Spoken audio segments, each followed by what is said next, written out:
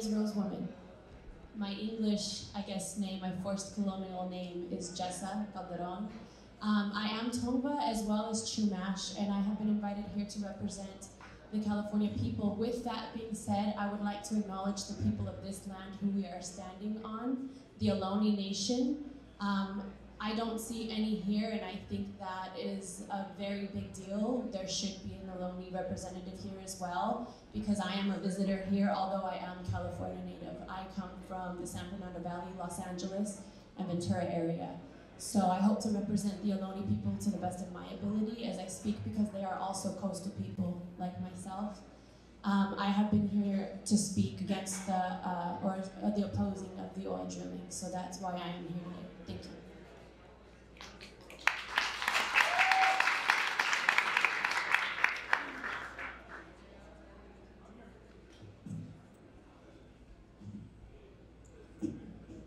Sí. Buenas tardes. Mi nombre es Jacob Miterio. Soy del pueblo quichua de Sabayaco, centro-sur de la Amazonia ecuatoriana. Estamos aquí para dar criterios, experiencias como pueblos originarios, dar criterios de soluciones a los problemas del cambio climático. Y eso hemos venido a, a compartir con ustedes. So my name is Yaku Miteri. I come from the Quichua people of Sarayaku in south central Ecuadorian Amazon. And I am here to represent my people in presenting uh, criteria and solutions to the problems of climate change that we're facing.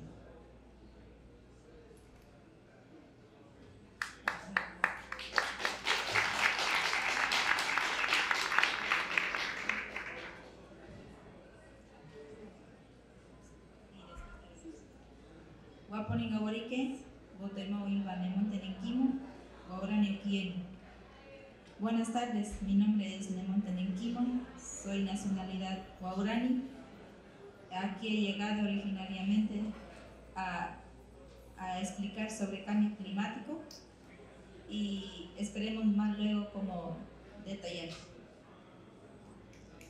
Good afternoon. Um, my name is Noemi Ticano. Uh, I come from the Waorani people of the Ecuadorian Amazon, and, and I'm here this afternoon to speak about my people's uh, struggle against climate change.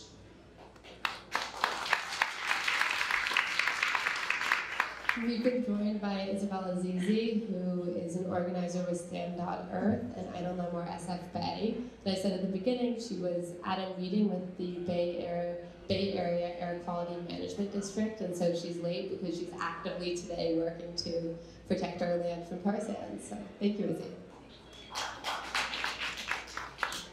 Hello, everyone. Thank you again. My name is Isabella Zizi. I come from the Northern Cheyenne, Arikara, and Muskogee Creek tribes, and I've been I was born and raised in Richmond, California, in occupied Ohlone territory, which is under the shadows of the Chevron oil refinery that had exploded August 6, 2012, that sent over 15,000 residents to the hospital, and I've been very active ever since then, making sure that no other communities will have to deal with that. Oh, thank you.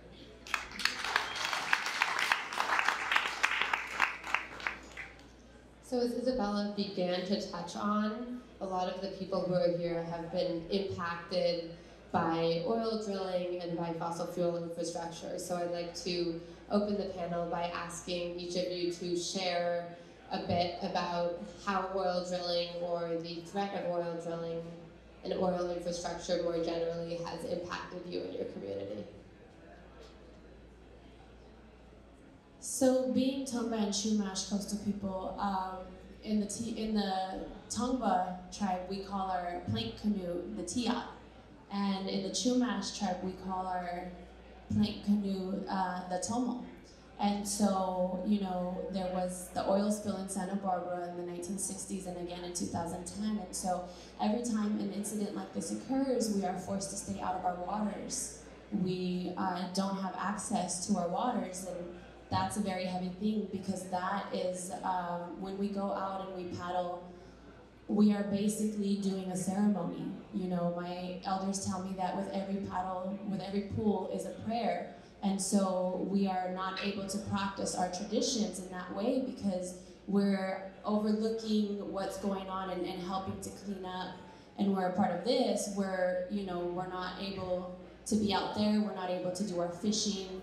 And so to us, that's a big deal. And it's it hasn't just been restricted to the ocean; it's also been on our lands. You know, being Tongva, um, they are right now threatening our wetlands area, and uh, they keep taking more and more every chance they get. And so this is a big thing that it's it's not only affecting me, you know, as as an animal, it's affecting our ocean animal as well. You know, and, and we're watching them plop up dead and so as long as we keep losing this, you know, we have to understand that there will be a time that we will be lost as well, further than mentally, but I mean in non-existent. So that is why we continue to speak up. We continue to do our work in the community to be as preventative as possible, but in that case, we need to dig deeper and go back to the old ways as much as people say that's impossible. We lived thousands of years without this lifestyle. And I think we can live a lot longer, another couple thousand years, whereas in the last 500 years, you know, and, and 200 years alone, America alone has done so much destruction in 2,000 years. What we were keeping solid and healthy in thousands of years, they've destroyed it in 200. And with the Spaniards in 500 total. So if we stop living the colonialism way of thinking, we can definitely be better at preservation.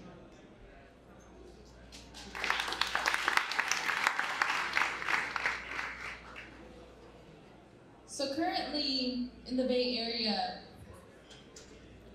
alone in the Bay Area, we have five oil refineries on the East Bay of San Francisco. There's Chevron, Shell, Tesoro, Phillips 66, and Valero. And one of them had changed their name recently. I can't think of it right now because I was in mode on coming here. um, and like I mentioned, the Chevron refinery had it had its explosion. It caused thousands of people to go to the hospital. And in most recent news, there's the Phillips 66 project uh, that is in Rodeo, California, near Crockett. And the meeting that I was that I had just left early, the Bay Area Air Quality Management District meeting, uh, members, board, and staff, they're the ones who who regulate um, any issues that goes along with our air and also with our water, with our air qualities in our water. And they recently passed a few permits, two permits this year, about the Phillips 66 project. And this was all done in secret, behind bars, not letting the community know about this. And at the same time, while this is occurring, a lot of people don't know, but this is a direct connection. This refinery expansion is a direct connection to what is happening up in Canada with their Kinder Morgan Trans Mountain pipeline. If they pursue with that pipeline, shout out to Cedar George Parker out there who's been resisting that. Um, if they if they try to pursue in continuing this project, which we won't let them, they were they will want to extract more tar sands, also known as oil sands or bitumen, um, from the original people of those of those lands without consent and that will eventually make its way by ship here in the San Francisco Bay. And currently, there are 59 ships that go of really cargo ships that carry thousands of barrels of tar sands oil and other crude oil, and they're wanting to double that to over 130 ships. And by the amounts of ships, you know, we also have to count the amounts of barrels of oil. So they're wanting to bring in 51,000 barrels. They're wanting to jump from 51,000 barrels to over 130,000 barrels a year through our San Francisco Bay. It's not, it's not a matter of if, it's a matter of when oil spills into the ocean. There is no solution to clean that up, which like my sister here had said, it's not only our lives that are being put at risk, but it's also our relatives in, in the sea those who fly above us, those who crawl below us, and those who swim around us. And we need to continue to raise our awareness about that and make sure that that does not happen. Because it's not just the folks in Rodeo or Crockett that is being impacted, it's all of us here in California, all of our relatives up in Canada, and it's also a direct connection to our relatives down in the global south. All of these issues connect, and we are here to make sure that that does not happen. Because what we had also told the Bay Area Air Quality Management District members, board and staff, is that if you approve this permit, we will make this a standing rock in our own backyard.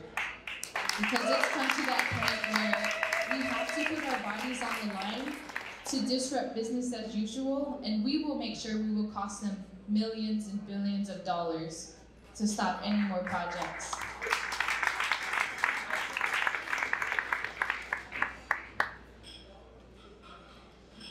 Bueno, considero importante memorizar para quienes han olvidado y para quienes desconocen.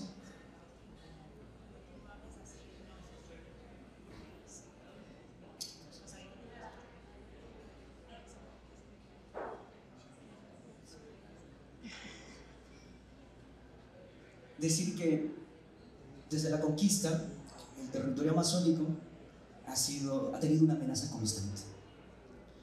La era petrolera, la era minera, en la actualidad es un hecho.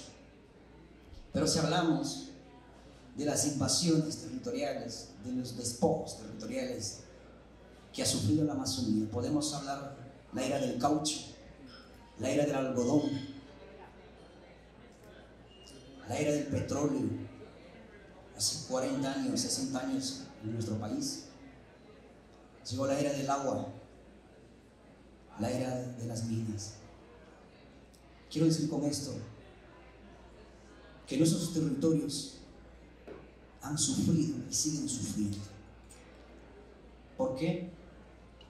Porque desde la era industrial de los países desarrollados, las corporaciones industriales, a nombre de un desarrollo, han incursionado en nuestros territorios, violentando derechos humanos, violentando derechos ambientales.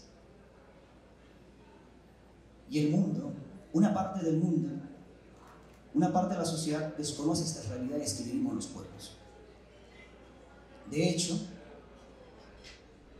uno de los que ha sufrido estos atropellos es mi pueblo sarayaco. Ustedes han de conocer el caso Sarayaku en el año 2004, donde una compañía, de manera inconsulta, ingresó a nuestro territorio.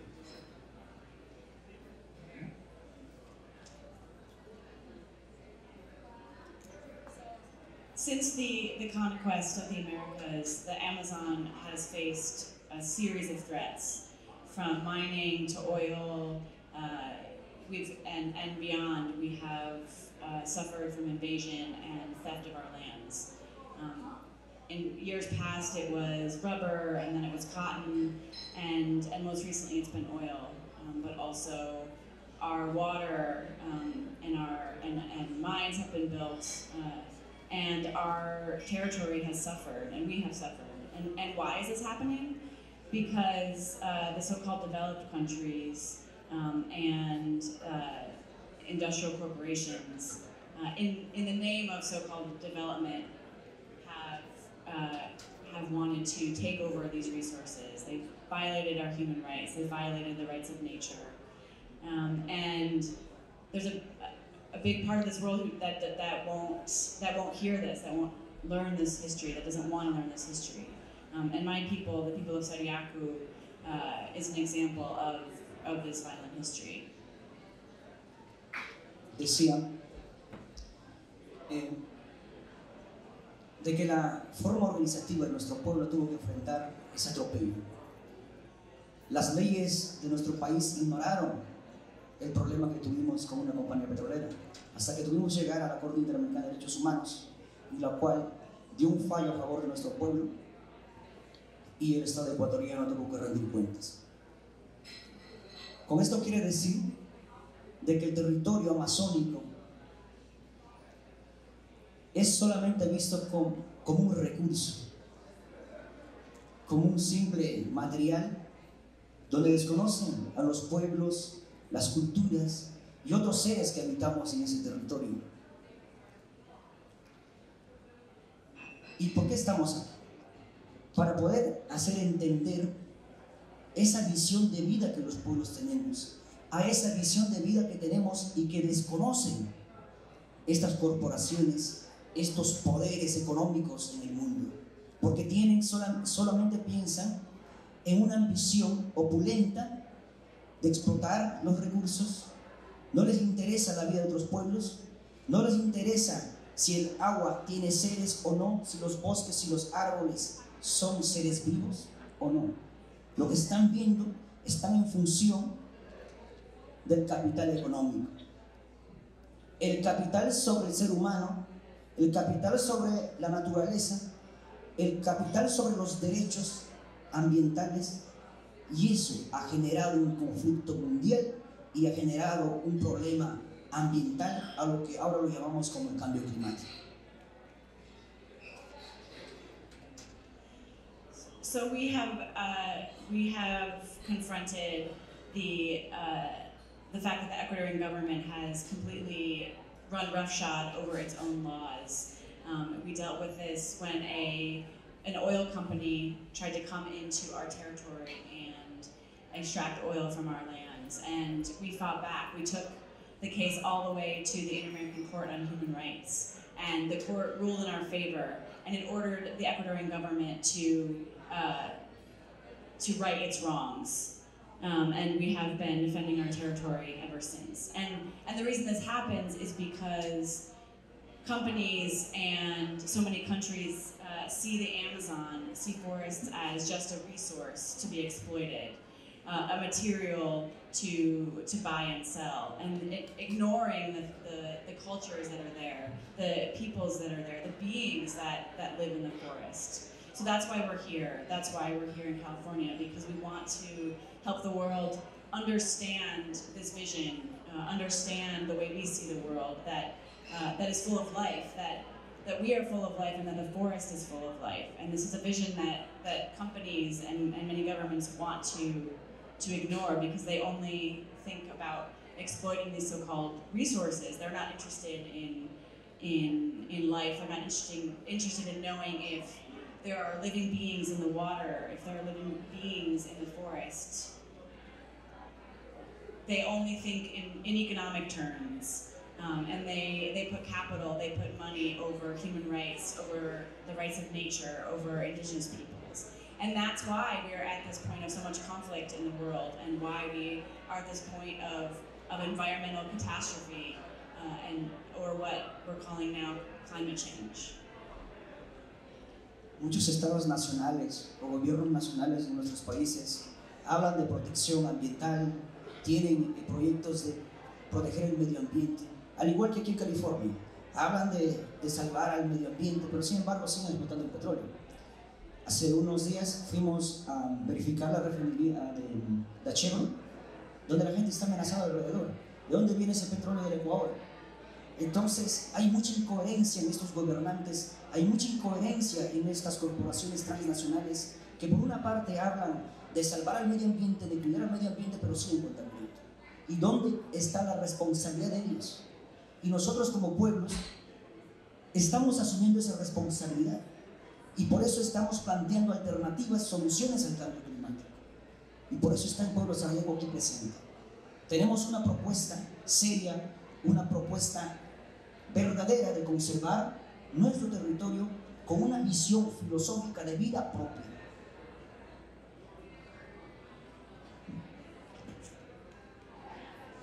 So many, many governments talk about protecting the environment and they have lots of programs to do so.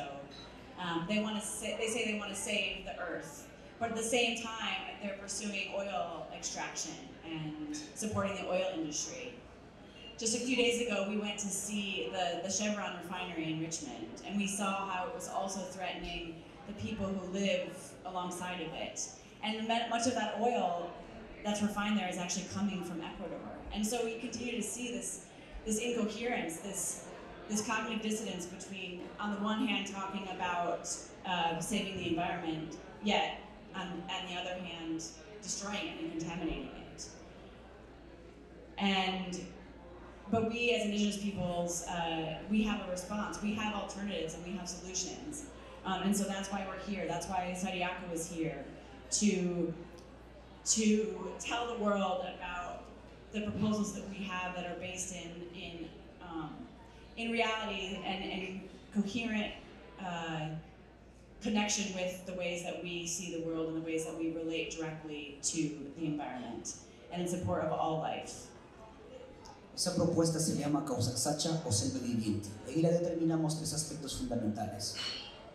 Conservar nuestro territorio, dejar el petróleo bajo tierra y que el Estado ecuatoriano y las instituciones nacionales e internacionales, quienes dicen cuidar el medio ambiente, legitimen a esta propuesta como causa Sacha como un ser vivo y un sujeto de derecho. Eso es el aporte contundente para el cambio climático. Y con esta propuesta también estamos haciendo incidencia en nuestra localidad, incidencia nacional e internacional. ¿Con qué criterio? Queremos, estamos haciendo conciencia ambiental desde nuestra perspectiva. No es una receta de un Estado, es una visión de un pueblo.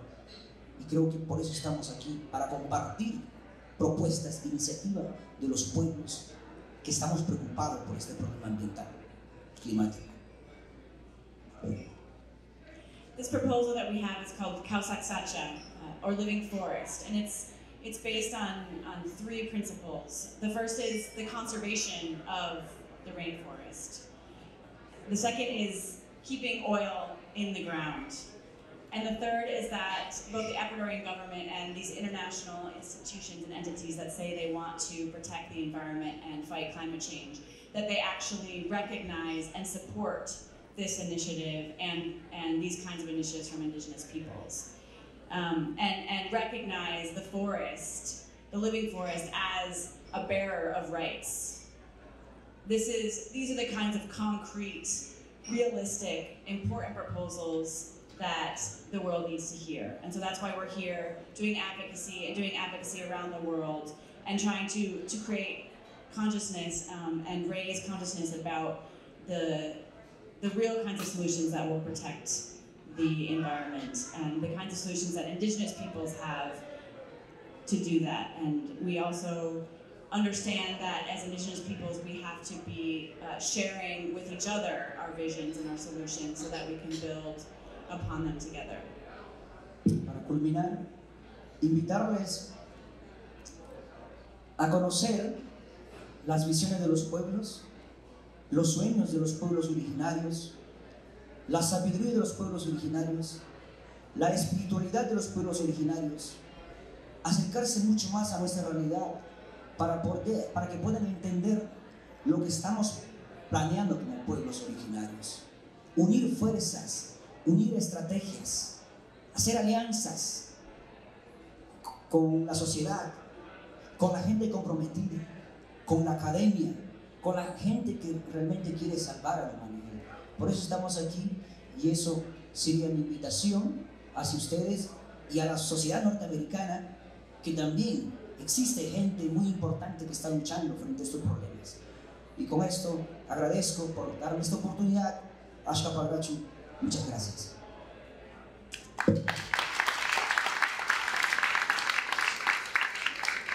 So I want to invite all of you who are here today to, to get to know these kinds of proposals and these visions that we have, to get to know the dreams, uh, the knowledge, uh, the, the, the traditions of indigenous peoples, and to, to come closer, to actually experience our reality and understand our reality and, and what our solutions and proposals are we think it's absolutely necessary to to join together in strength, to be in solidarity, from local activists to academics, the, the people who really want to truly protect the environment. We know that we have to join forces. And so I want to thank you all for being here today and giving me this opportunity to share with you.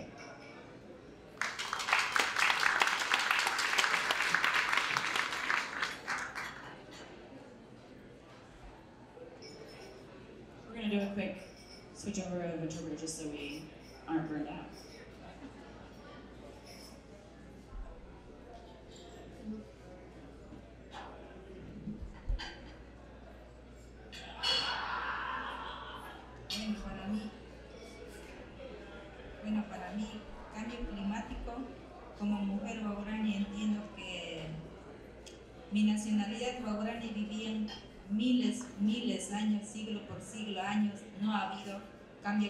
Porque ellos vivieron de, de selva pura, agua limpia, bosque limpia, comida sana, sin contaminación. Para mí es cambio climático cuando entró en la Amazonía, petrolera, mina, colonización, reducción. Eso es para mí cambio de climático. Ellos vienen a dañar a nuestro territorio. Eso conforma a nuestro territorio cambiar. My name is Nemonte Nenquimo. I'm a Waorani woman. And for me and for our Waorani people, climate change never existed before. We lived for thousands of years in the Amazon rainforest. We lived within our forest. Our water was clean, our air was clean, and it was only until people came from the outside, oil companies, miners, loggers, people who invaded our lands, began to change our territory, deforest our territory, and cause climate change. ¿Por qué yo digo eso? Yo soy una mujer guaurani joven. Mi territorio guaurani es grande. Tres provincias. Pastaza, Napo, Orellana. Donde yo vivo ahora en Pastaza no existe petrolera, no existe otros invasores, no existe nada. Donde otras partes, donde mi familiar, donde nació mi abuelo en Yasuní, está petrolera ahí está operando petrolera, está contaminando agua, está contaminando a los animales, a los humanos, está matando ahí, hay el cambio. Eso yo he sentido. The Warani people, we have a large territory. Our territory is three provinces, Napo, Orellana, and Pastaza. And I am from the Pastaza province. It's a roadless area of primary forest where my ancestors lived. There's no oil, there's no deforestation. We live well, we live healthily. Our rivers are clean, we have abundant game. But where my ancestors were born, in another part of our territory, the oil companies have arrived. The oil companies have poisoned our rivers, they've killed the animals, and our people are suffering dependency on the companies. And so we're fighting in Pastaza to protect our lands from outside invasion. Por esa razón nosotros hemos conformado una organización que se llama Fundación Alianza Seibo como cuatro nacionalidades, Guaurani, Secoya, Siona. Eh, hemos visto un experimento entre cambio de cultura porque nuestros compañeros que viven en el norte viven terriblemente, viven contaminados, no tienen como nosotros bosque muy grande, muy pequeña, y hemos unido para luchar, porque eso, unión se hace la fuerza, y me hace sentir más fuerte como mujer, guaurani joven. Hoy en día estoy luchando cada día. ¿Por qué digo eso? Porque nuestro territorio en Pastaza, el gobierno ecuatoriano ya quiere licitar, ya quiere comprar otra empresa. Y estamos unidos, unión hace la fuerza. Y queremos seguir luchando este bloque 22 y venido ahí aquí a explicar sobre qué está pasando en mi realidad actual donde yo vivo en Pastaza. In the Western Amazon, we're all facing the same threats. And that's why, seeing that the oil companies continue to expand into our lands, we formed an alliance. As a young Waorani woman, I helped join forces with the Sionas, the Secoyas, and the Kofan people who are living in the northern part of Ecuador, who have 50 years of experience living downriver from the oil companies. And we formed an alliance where we can interchange cultures, we can learn about the threats that we face, and we can try to create solutions together. The Sionas, the Secoyas, and the Kofanes have lost a lot of territory. They've lost a lot of their health and their culture. And now we've joined together to form what's called the Ceibo Alliance. And the Ceibo Alliance has helped us as well defend our lands in Pastaza, the government is trying to auction off indigenous territory across the south central Amazon, and in our territory, they've called our lands Block 22, and they want to sell it to the oil companies. And with the Ceibo Alliance, we've helped to organize a resistance of Waorani communities who are still living in harmony with the environment. Eso ha ayudado muchísimo conformar con cuatro nacionalidades, iniciando nuestros propios abuelos jóvenes como mujeres a hacer el mapa, dibujar. Esa herramienta ha ayudado muchísimo a entender por qué el gobierno solo ve que el bosque existe y no siente que el vida humano y los seres eh, animales, otras cosas para gente de, de afuera que quieren aprovechar nuestros recursos, lo que gente que piensa el dinero solo ven así un espacio vacío. Pero como mujer guarani existe mucha vida para mí, no solo humano, para los animales, para mis hijos. Cuando en el futuro no defendemos nuestro territorio como gobierno piensa, el dinero no va a servir para mí como mujer guarani, el pueblo guarani no sirve el dinero. Más importante que va a servir es la tierra, es bosque, río.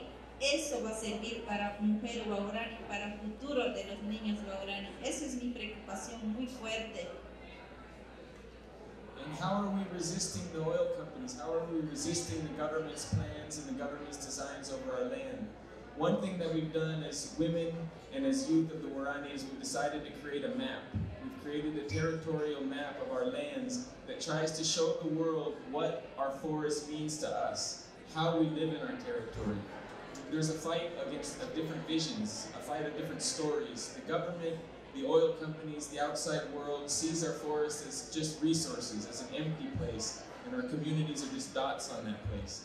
But what we have is life in our forest, animals, rivers, trails, and we've created a map that we're using to show the world that our territory is not empty, it's full of spirits, and it must be protected. Ahora estamos organizando mujeres como jóvenes, abuelas y con otra nacionalidad como mujeres mismo tejiendo nuestra artesanía, cantando nuestro canto, eso es nuestra fuerza que nos da para, para luchar. Es como estamos construyendo reunidos porque sabemos que ya hemos experimentado con otros compañeros indígenas que han vivido con petrolero y con mi familia que vive en Yasuní y nosotros que como mujer de Pastaza no voy a permitir que entre, que destruyen nuestra selva. Eso es muy importante. Yo, ¿por qué estoy aquí? Yo y tú vamos a unir para la lucha del bloque 22. Eso nos va a ayudar bastante. Y para el futuro, si yo hoy en día vendo al petróleo, vendo al gobierno, los futuros guaraní van a tener consecuencias.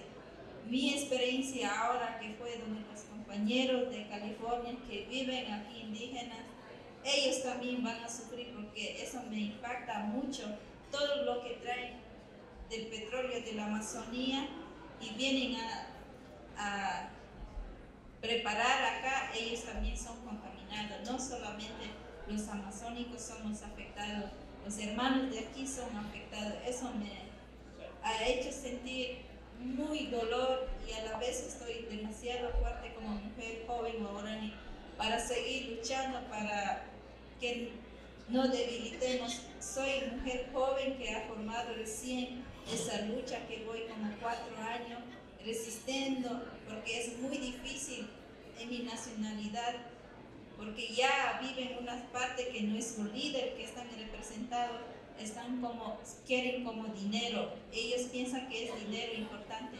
Como mujer, como madre, para mí no es importante dinero. Importante es la vida de la selva. Importante es la agua también. Sin agua, sin limpio de agua, no existe la vida para la mujer waorani.